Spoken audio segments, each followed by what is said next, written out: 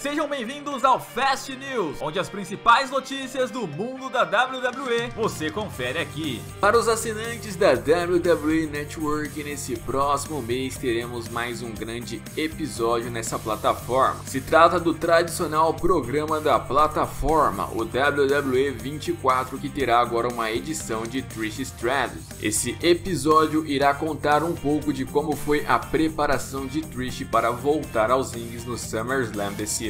E ainda falando sobre super estrelas, quem deve estar tendo novidades em breve é a comentarista Renee Young. Está sendo especulado que Renee Young deverá estar voltando para o SmackDown quando o show da Brand Azul se mudar para o canal Fox. Ainda é especulado também que Renee Young no SmackDown voltaria a apresentar um show parecido com o que foi o Talking Smack. E um superstar do NXT que não se cansa de causar tumulto por todos os lados com certeza é Matt Riddle. Quem acompanha um pouco de suas redes sociais tem noção de como o mesmo adora fazer provocações, mas ao que parece, quando ele começa a falar sobre superstars da WWE e principalmente os lendários, acaba também aumentando seu hate. Está sendo relatado que alguns superstars da WWE estão começando a boicotar um relacionamento com o mesmo por conta desse seu jeito chato. E outro match da WWE que parece estar querendo causar tumulto ultimamente foi Matt Hard. Alguns de vocês já devem saber que nessa última semana um superstar que a WWE me proibiu de falar o nome conquistou o primeiro título mundial da AEW. Mas o fato é que o Bon Jovi deu conta de perder esse título apenas 24 horas depois em um restaurante. Por conta disso, Matt Hard resolveu fazer uma paródia provocando Christian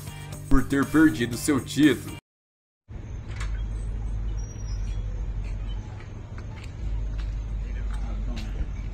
Uh, just had a wonderful date night out with my beautiful wife here at a very classy restaurant, as you can see.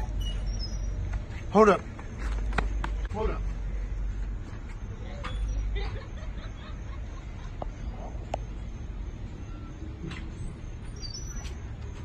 That son of a bitch tried to steal my belt. Rebby, where's our limousine?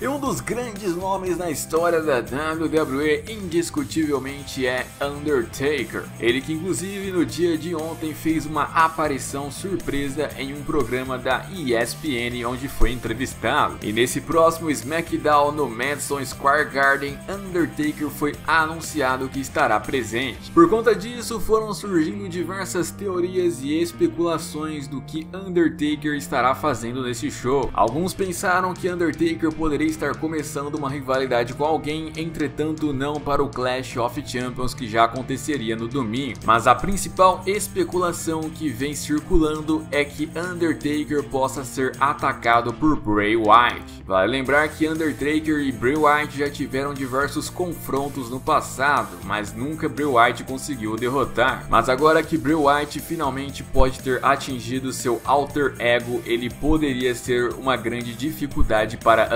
Undertaker em um próximo combate. Hoje não, hoje não.